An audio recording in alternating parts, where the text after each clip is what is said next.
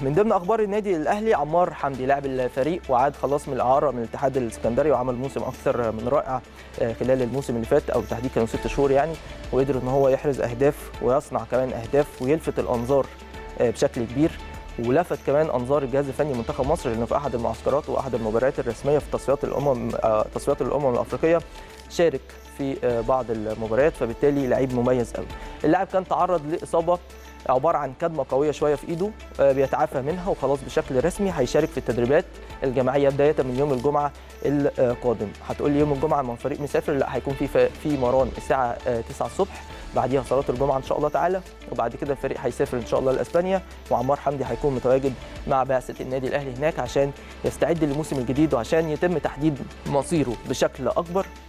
من خلال معسكر إسبانيا ومن خلال متابعة دقيقة جدا جدا جدا من الجهاز الفني بقياده مستر مارتين لاسارتي. في المقابل أحمد الشيخ، أحمد الشيخ بيعاني من كدمة في رجله بالتالي ما بيشاركش في التدريبات خلال امبارح والنهاردة، كدمة بالتحديد في الكاحل قوية شوية بالنسبة لأحمد الشيخ ويمكن من اللعيبة اللي حظهم سيء كل ما يبتدي أحمد الشيخ يرجع ويلعب أو يشارك في التدريبات ويتألق تلاقي إصابة جت أو شيء أعطاله عن المشاركة عن التألق ودي أمور يعني للأسف بتعارض بعض اللاعبين لكن نتمنى إن أحمد الشيخ يعود سريعا. عنده برنامج تأهيلي وبرنامج علاجي مهم جدا في النادي الأهلي وهيكون متواجد مع بعثة النادي الأهلي أيضا في إسبانيا عشان يحضر للموسم الجديد بالمناسبة بالمناسبة. من ضمن الكواليس المهمة قوي اللي أنا حابب أقولها لحضراتكم إن في تمسك كبير جدا جدا بأحمد الشيخ لاعب النادي الأهلي وفكرة إن هو يرحل عن النادي الأهلي غير مطروحة حتى هذه اللحظة عشان اكون أيضا دقيق مع حضراتكم. حتى هذه اللحظة أحمد الشيخ من اللاعبين اللي مكملين مع النادي الأهلي الموسم الجديد ومش هيمشي. لحد اللحظة اللي أنا بكلم حضراتكم فيها. اهتمام كبير جدا باللاعب قناعة كبيرة جدا من الجهاز الفني بالكامل بقدرات أحمد الشيخ. وهو بالمناسبة لعيب مميز قوي قوي قوي قدراته عالية جدا جدا جدا. لكن بيصادفه سوء حظ وكمان التركيز قليل شوية عند أحمد الشيخ. لو ركز أكتر من كده في شغله في الكورة هيبقى عالمي جدا فبالتالي في تمسك يعني بأحمد الشيخ حتى هذه اللحظة إنه يكون متواجد في النادي الأهلي خلال الموسم الجديد. بالنسبة لحسين السيد العائد من اعاره في السعودية وشارك في التدريبات من يومين بالتحديد بالظبط كان أول مران ليه وبيشارك بشكل جيد بالمناسبة وفي برنامج موضوع لحسين السيد بالتحديد عشان يسترجع قدرته البدنية بشكل بشكل كبير ليه؟ لأن حسين السيد بقاله فترة كبيرة مريح أكتر من لعيبة النادي الأهلي لأن الدوري السعودي خلص قبل التوقف بتاع الدوري المصري لأن الدوري المصري لسه ما خلصش طبعا.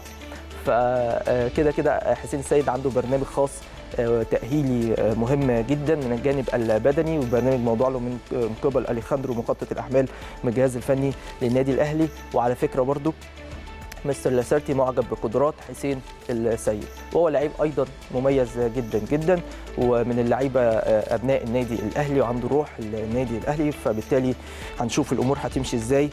كله هيتأجل أو كله هيتم تحديده بشكل كبير جدا في معسكر الفريق في إسبانيا. هنشوف الجهاز الفني هيستقر مين اللاعبين اللي هيكونوا متواجدين ومين اللاعبين اللي هيتم إعارتهم ومين اللاعبين اللي هيتم تسويقهم وبيعهم. ده طبيعي دي سنة الحياة في أي نادي في الدنيا. يعني وارد بيبقى عايز تتعاقد مع لاعبين والنادي الأهلي في طريقه لإنهاء التعاقد مع أكثر من لاعب في نفس الوقت بتبقى عايز تطلع لاعبين اعاره عايز تسوق لاعبين ده طبيعي جدا في أي نادي في الدنيا يعني. فهنشوف المرحلة الجاية هامه هامه جدا غاية في الأهمية لكل لاعبي النادي. الأهلي اللي عايزين يثبتوا جدارتهم بالتواجد في القلعة الحمراء وبتيشيرت النادي الأهلي. هيكون عندهم فرصة كبيرة جدا خلال معسكر أسبانيا عشان يقنعوا مستر لاسارتي وجهازه المعاون بإمكانياتهم وقدراتهم. وفي الحقيقة في الحقيقة إحنا عندنا كم هائل من لاعبي النادي الأهلي المميزين جدا.